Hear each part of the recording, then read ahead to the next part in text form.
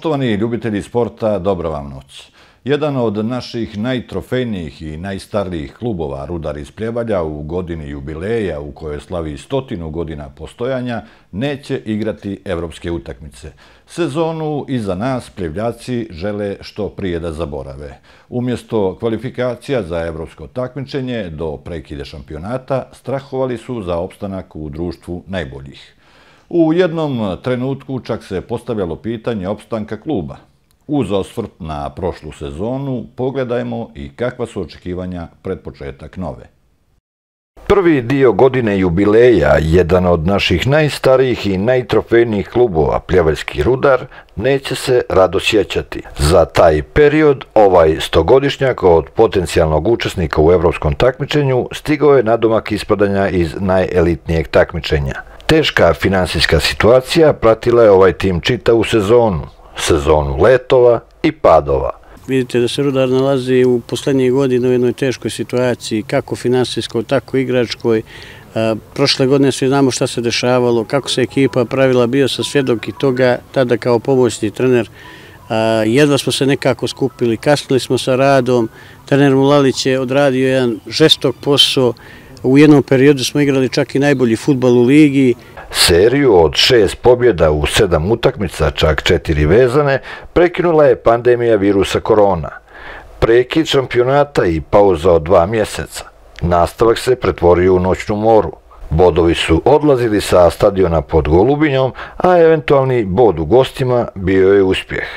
Povrede ključnih igrača u najtežem trenutku i niz neželjenih faktora gurale su ovaj tim ka ponoru. E, korona je sve to poremetila, ponovo smo ušli na kraju sezone u problem da se nije desilo prekid prvenstva, ko zna šta bi bilo sa Rudarom, možda bi zaglavili što se kaže i u baražu, a baraž je Lutrija. Uslijedio je raskid saradnje sa trenerom Mulalićem, zatim dogovor sa Aleksandrom Miljenovićem da vodi tim do kraja sezone. No on nije dobio priliku da taj dogovor sprovede u dijelo. Povjednički niz koji im je uzela, pandemija je vratila prekidom prvenstva na pet kola do kraja. Rudar je sezonu završio odmah iznad crte baraža sa čak 16 poraza, jedan manje od posljednje grblja priliku da nakon decenije rada u klubu prvi put samostalno vodi ekipu, dobio je Vuko Bogavac. Ja ću se truditi svojim maksimalnim zalaganjem, učinit ću sve, svo svoje znanje, svu svoju energiju, se sredit ću na ekipu, pokušat ću da dam jedan svoj maksimum, očekujem isto od igrača i ovih domaćih, vidite sami da imamo veliki broj domaćih igrača koji znaju šta je rudar, vole ga od sveg srca, oni su tu, daće sve što mogu za rudar, to je jedan preduslov. Kako su sva pojačanja iz prošle sezone napustila klub, a do novih se nije moglo doći zbog aktuelne situacije, upravo se odlučila za one koji su već oblačili dres pljevaljskog velikana. Razmišljao sam dugo, imao sam nekih tu ponuda da kažem po Crnoj Gore, ali ovaj opet što se mene tiče bio sam posljednju godinu u Grblju, ovaj to se završilo neslavno ispali smo iz lige, ovaj, mislim da je Rudar sad u ovoj situaciji posle budućnosti i Sutjeske jedan od tri najveća kluba i to je to, to je moj klub, moja kuća i mislim da nisam pogriješio sa tim i ovdje mogu samo da, da napredujem. Nadam se da će biti treća sreća da se ostvare neki bolji rezultat.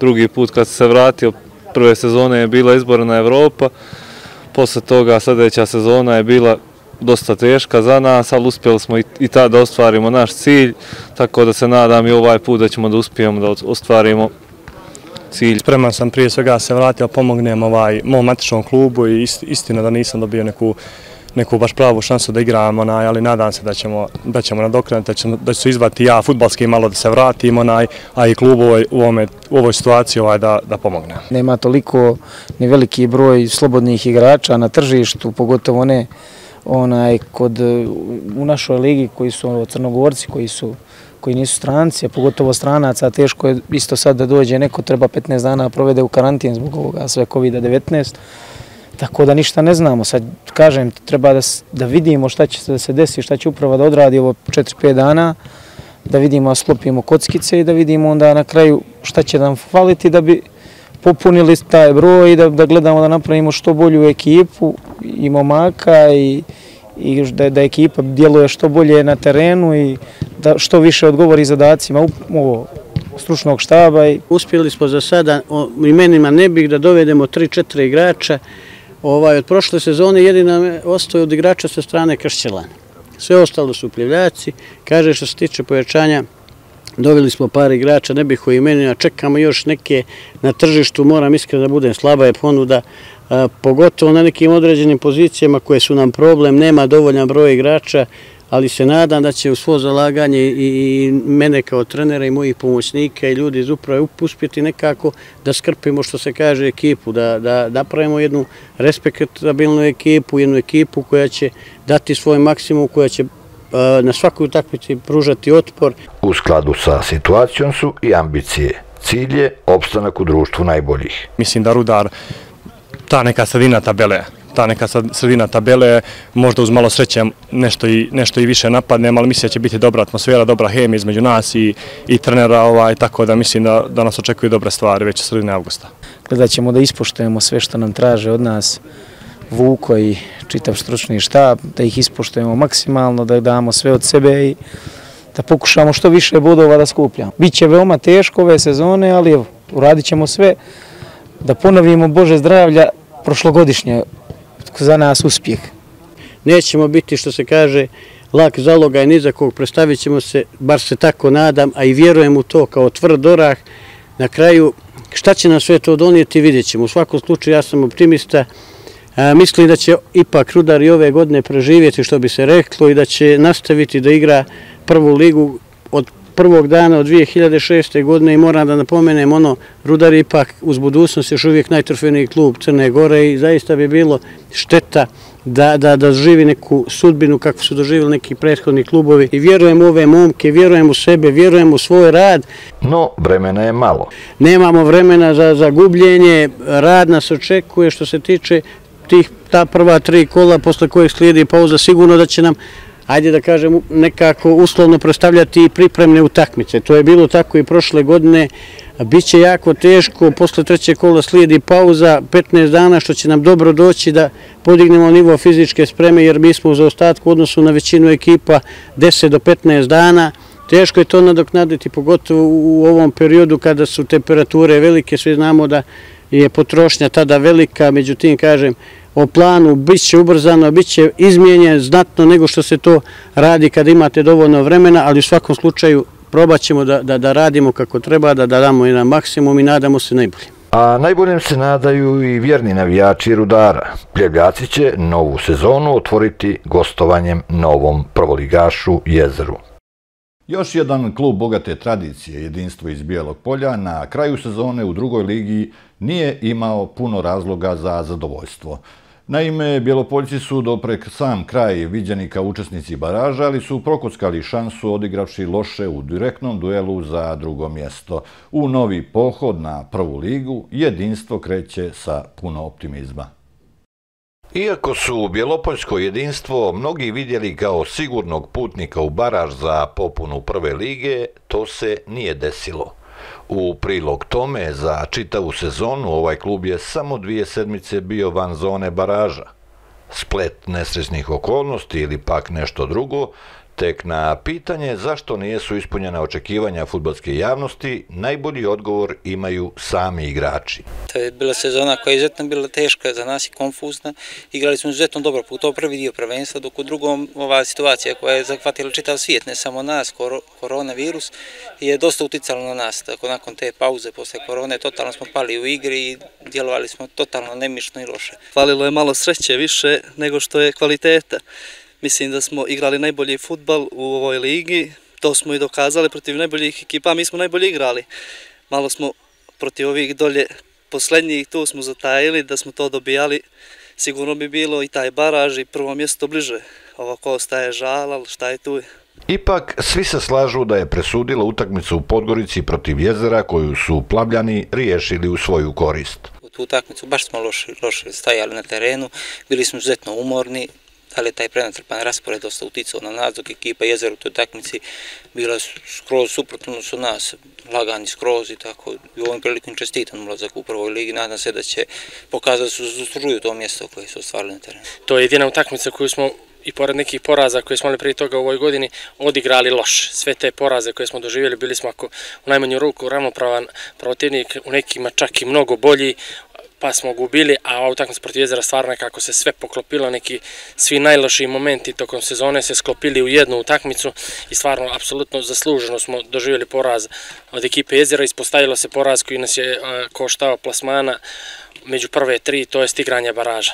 E sad, jeste bilo razočarenje veliko posle te utakmice, možda smo loše odigrali za to što smo negdje u posvijesti imali činjenicu, to jest mogućnost da će se e, prvenstvo prekinuti posle te utakmice, možda taj neki teret koji su igrači iznijeli na svojim leđima tokom čitave sezone i možda to neko opterećenje od važnosti toga meča je uslovilo da odigramo loše iako smo bili znatno, drastično slavljeni u tom meču, bez 4-5 standardnih igrača, ni to ne može biti opravdanje, ali šta da se radi, idemo dalje, razočarenje, rekao sam, jeste bilo veliko, ali možda je ovo neki dodatni motiv za ovu sezonu koja je pred nama, da to što nismo uspjeli prošle sezone, da probamo da ostvarimo naredne sezone. Žal za propuštenom šansom ostaje, no, kako kažu, uzdignute glave treba ići dalje. Naš plan po završetku prethodne sezone je bio da zadržimo e, kompletan igrački kadar iz prošle sezone i da tu ekipu osvježimo sa tri pojačanja i sa takvom grupom igrača da probamo opet da ostvarimo ovaj, zacrtani cilj od prošle godine, to je plasman među tri i da probamo da uđemo u prvu ligu. U tom cilju traže se pojačanja, a među prvima u jedinstvo je stigao iskusni Dražan Ajković, čije su igre u dresu jezera značajno doprinijele istorijskom uspjehu tog kluba. Odlučilo je to da jedinstvo ima ambicije za ulazak u prvu ligu i u razgovoru sa trenerom Sedom Babačom pa svidio mi se njegov način rada, pripreme, i to što mi je rekao da planiraju ulazak u prvu ligu, to mene dodatno motivisalo da dođemo u jedinstvo. Koliko poznaješ Biloparski klub? Pa poznajem dosta. To je jedan organizovan klub koji svake godine u drugoj ligi je četvrti ili peti i ima ambiciju uvijek da se plasira što više i meni to odgovara i mojim ambicijama. Takav igrač nam je trebao prošle godine, iskustvo njegovo i odlična lijeva noga. Već smo sad e, prije početka pripremamo stali od prošle godine bez šest igrača, bez dva golmana, Džafić i Jaković, bez mm, ovoga Bugarina i Idrizovića koji su otišli u Mornar iz bara i bez Kreštorca i Hajrovića koji su u potrazi za za, za klubom. To su igrači za e, koje smo izgubili neplanski, znači nismo očekivali da ćemo ostati bez njih i onda moramo sad u hodu se prestrojamo. Od toga kako ćemo završiti ovaj prelazni rok zavisi neke naše ambicije. Za sad jedino pojačanje je Draža Najković koji je bio dugogodišnji kapiten jezera. U pregovorima smo sa još nekoliko igrača i ovaj, u zavisnosti od ishoda tih razgovora napravit ćemo i postaviti sebi neke ciljeve. Nadam se da ćemo uspjeti da dovedemo kvalitetna pojačanja, kvalitetne zamjene za te igrače koji su nas napustili, pa čak možda i neka, neka osvježenja preko toga neke kvalitetnije igrače. U lovu na prvu ligu jedinstvo neće biti usamljeno. Opšti utisak je da je drugoligaški karavan jači nego ikad. Pa jeste po imenima klubova, ali sad kako se klubovi organizovati, ovo je svima nama nepoznanica. Te prekineš prvenstvo, posle deset dana nastaviš novu sezonu, vidite ćemo na šta će sve da ispadne. Dosta će uticati i to ko će imati e, dužu klupu. To je sad presudilo, jer jezero je bilo najdužu klupu svih nas. To će, mislim, i ove polusezone presuditi. Pa. Evo, vidjeli ste ove godine Donekle mi je drago da, da, da su klubovi koji su predstavljali drugoligašu Baražu Jezero i Bokelj, Jezero ušlo, Bokelj za dlaku, znači ovaj, opravdali to taj kvalitet koji je druga liga imala prošle godine, ako znamo da je jedan Lovćin ispao u treću ligu, to znači da je prošle godine bilo dosta kvalitetnih ekipa, ove godine mislim da druga liga nikad jača sa ekipama kao što su Grbalj i Kon koji su dugogodišnji prvoligaši, ja mislim da Grbalj prvi put ne igra prvu ligu od osnivanja Crne Gore, Bokilj koji je zadržao kompletnu ekipu iz prošle sezone, koji je stvarno bio blizu, blizu, blizu plasmana u prvu ligu, a ekipe koje su ušle, koje su ušle iz treće lige Igalo, koje je tu dominantno bilo, i Berane koje je već ovaj, sklapa neki mozaik, neku ekipu koja bi mogla da bude konkurentna. Ima informacije da Arsenal pravi dobru ekipu, da su zadržali sve igrače, da su se pojačali i naravno Mornar koji je već doveo deset igrača, što prvoligaški, što drugligaški, koji je apsolutno sebe u ovom trenutku ovaj, E, promovisao nekog, ajde da kažemo, apsolutnog favorita za sledeću sezonu, ali ne mora da znači, svi tu imamo donekle e, šanse za neki visok plasman, mislim da će Mornar sa ekipom stvarno s kojom raspolaže, da će biti glavni favorit, a mi svi ostali, tu uključujem i nas, ako odradimo prelazni rok, kako smo zamislili, e, mi, Bokelj, Arsenal, Kom, Grbalj, da budemo tu ovaj, iza Mornara i da, i da vrebamo šansu da, da se domognemo baraša. No ipak, e, očekivanja navijača su velika. Bliži se stogodišnica kluba i svi bi voljeli da vide jedinstvo u prvoj ligi. Pa naravno, mi to znamo, očekivanja navijača su velika, navijači ne pitaju u kakvim uslovima se radi, da li se ima novca za ta pojačanja, kako klub funkcioniše, kako se finansira, da li su te financije dovoljni navijač dođe da gleda u takmicu, očekuje najbolje. To je apsolutno razumljivo. razumljivo. Međutim, ovaj, ljudi koji su unutar kluba, igrači, njima neki najbliži ovi ljudi koji prate dosta treninge, koji su stalno sama, znaju sa kakvim problemima se susrećemo i prije svega u radu, jer mijenjamo podloge, trenemo na razne terene, ne možemo stalno da koristimo ovaj naš teren već povremeno dva, tri puta nedeljno, idemo i u moj kovac, idemo na teren Lenke, znači kombinujemo sve moguće i to nam predstavlja velike probleme, a, ovaj, tako da se to dosta odražava kasnije na igru. Međutim, navijači, e, navijače to ne zanima, navijače samo zanima dobra igra, dobri rezultati, pobjede, e, dobri plasman, dobar plasman i idealno za sve njih je bilo e, i ove godine da se plasiramo u prvu ligu. Nadam se da ćemo sklopiti ekipu ekipu u ovom prelaznom roku onako kako smo zamislili da ćemo se pojačati prije svega na nekim pozicijama na kojima smo u deficitu i da će to biti dovoljno da obradujemo i sebe i navijače i da tu stogodišnicu kluba dočekamo kao proligaši. Radost navijačima obećava i golgeter Gaga Nikolić koji je i pored ponuda ostao u klubu. Potrudit ću se da ispunim očekivanja publike i mojih saigrača koji će mi u tome pomoći. Prošla sezona bila dobra pored par sitnih povreda, mislim da je bilo i uspješnije, a što se mene lično tiče mog, ali dobro je. Da li je bilo ponuda, obzirom na tvoju dobru sezonu? Pa imao sam samo dvije ponude iz druge lige, što se prve lige tiče nisam imao ništa konkretno, ali mislim da je jedinstvo najbolji klub u drugoj ligi i najveće ime, tako da sam odlučio da ostanem ovdje i da pomognem mom voljenom klubu. Bilo bi lijepo da jedinstvo postane proligaž dok sam ja tu i nadam se uz par kvalitetnih pojačanja da ćemo doći do tog cilja. Ono što je sigurno je da ovaj tim sa puno optimizma dočekuje novu sezonu. Kako bi ostvarili sva ta pojačanja koje smo zamislili, mislim da bi bili glavni kandidati za prvo mjesto i plasman u prvom. Ja se nadam da će moje iskustvo pomoći ovim mladim momcima da, da napravimo što bolji plasman. Sigurno ćemo, pa i ne baraž ovaj, ali sigurno prvo mjesto da napadamo. Pobeći ćemo im prije svega žestok rad koji nas je prošle godine doveo do jedne dobre igre sa kojom sam ja stvarno prezvaljen, naročito u prvom dijelu.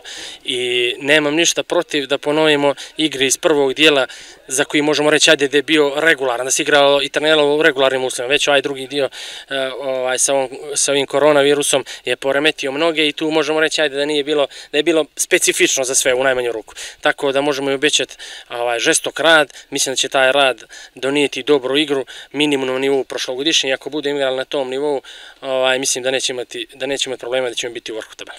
Poruka bjelopojskim ultrasima je kratka. Da budu uz nas kao i do sad, a mi ćemo se odužiti na terenu. A na terenu gradskog stadiona tokom nove sezone zasijaće i reflektori.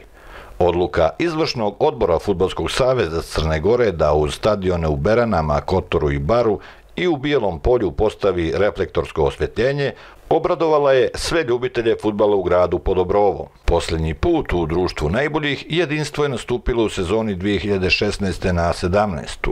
A novu sezonu u drugoligaškom karavanu Bjelopoljci će početi gostovanjem Igalu. Ovaj magazin trebalo je da završimo pričom o Ibru iz Rožaja. Ipak to ostajemo dužni za neko od narednih izdanja, jer kako saznajemo, Rožajci još nemaju definisanu sliku kako će ući u novu sezonu druge lige.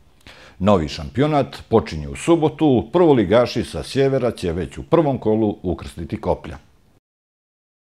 Takmičenje u elitnom rangu počinje u subotu 15. augusta i tokom jesenjeg dijela sezone, koji se završava 13. decembra, odigraće se 19 prvenstvenih kola. Shodno odluci donijeto na petoj sjednici izvršnog odbora tokom sezone 20 na 21. timovi koji nastupaju u Telekom prvoj Crnogorskoj futbolskoj ligi bit će obavezni da tokom svih 90 minuta utakmice na terenu imaju dva igrača koja su na dan odigravanja utakmice mlađa od 21 godinu. Šampion države, budućnost iz Podgorice, u odbranu titulu kreće iz Tuzi gdje gostuje novom prvoligašu Dečiću. Vice šampion Sutjeska sa Draganom Radojičićim na klupi dočekuje Petrovac. U Podgoričkom derbiju sastaju se Podgorice i OFK Titograd, a derbi sjevera igraju Jezero i Rudar. Derbi kola je ipak na Trešnici gdje će Megdan podijeliti učesnici kvalifikacija za Ligu Evrope, Zeta i Iskra iz Danilovgrada. Druga liga Crne Gore kreće nedelju kasnije, 23. augusta. I u ovom rangu svi timovi bit će obavezni da tokom svih 90 minuta utakmice na terenu imaju dva igrača koja su na dan utakmice mlađa od 21 godinu.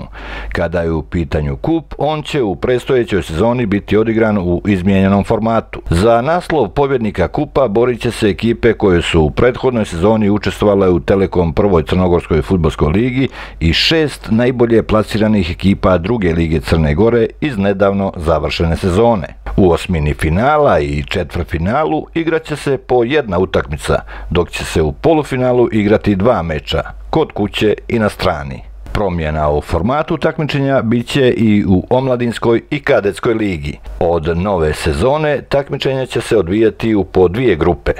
Na kraju jesenjeg dijela po tri najslabije plasirane ekipe će ispasti iz grupe A u grupu B, dok će tri najuspješnije ekipe biti promovisane iz grupe B u grupu A. Grupa A omladinske lige broja će osam ekipa, dok će grupa B imati deset. U kadetskoj ligi obje grupe imaće po 10 ekipa, a ove dvije lige počeće 23. i 24. augusta. Za kraj da podsjetim da ćete i u novoj sezoni moći u direktnim prenosima na kanalima MNE Sport Televizije da ispratite sve mečeve Telekom prve Crnogorske futbalske lige. Hvala na pažnji i prijatno.